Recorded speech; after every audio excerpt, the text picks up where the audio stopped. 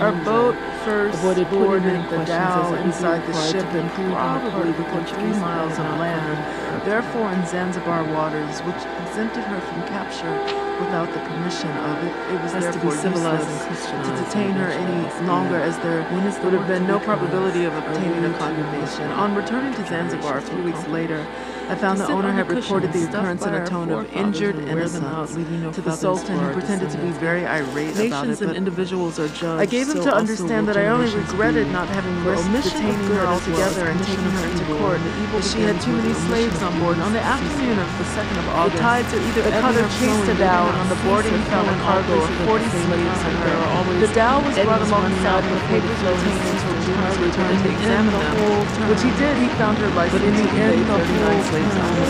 Only the 40 was a small, laughing infant on the back Unless of the tide of who appeared to be of about that age when, as I heard in England, they are to be of some notice. the Through the the interpreter, I asked the owner how it was he had one slave more One infant very small.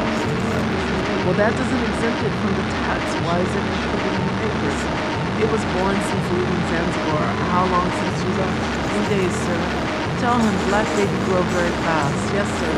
Nigger woman not know how she got baby till she finds it coming out of her back. Then tell him it is God's curse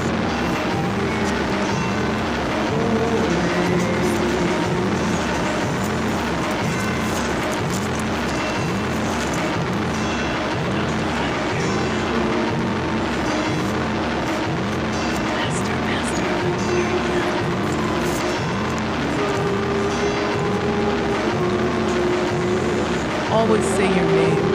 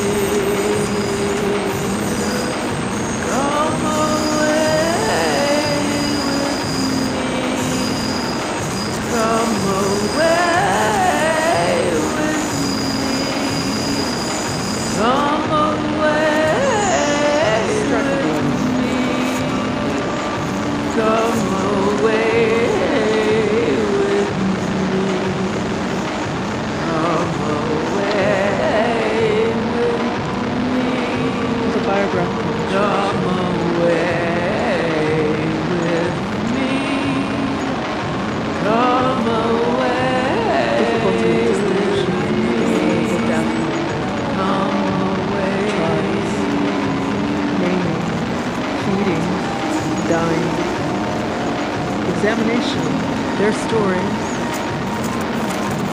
input, reception, miserable. Condition. A dozen barricaded themselves. In violence changes, lynchment, delivery, I'm bound to say they received more attention than any of the other in the shape of Vessels.